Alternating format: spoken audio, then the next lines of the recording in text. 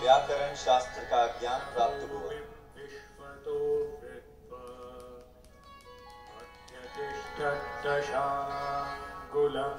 गुरु भूतिदास से ब्रह्म विद्या भव्यम्